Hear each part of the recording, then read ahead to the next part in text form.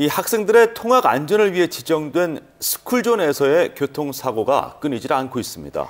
특히 개학철은 신입생이나 저학년의 안전사고가 우려되는 시기여서 각별한 주의가 필요합니다. 김동환 기자가 취재했습니다. 초등학교 앞 어린이 보호구역입니다. 도로 위를 달리던 승용차가 급히 멈춰섭니다. 스쿨존에 불법 주차된 차량에 가려 통학하던 초등학생을 미처 발견하지 못해 사고가 난 것입니다.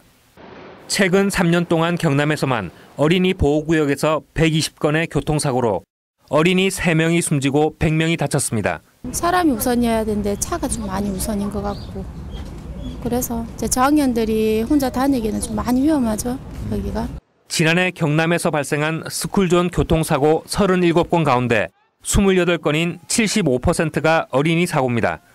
특히 개학철을 맞아 경찰은 주정차 위반 등 어린이 보호구역 안전사고 예방에 들어갔습니다. 스쿨존 사고 예방을 위해 홍보 활동을 지속적으로 하고 있으며 주정차 위반 행위와 신호 위반 등 어린이 보호구역에서의 위반 행위를 집중 단속하고 있습니다.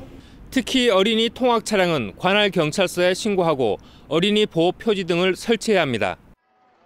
신학기 어린 학생들의 안전 사고를 막기 위해서는 학부모들과 스쿨존을 운행하는 차량들의 각별한 주의가 필요합니다. KNN 김동환입니다.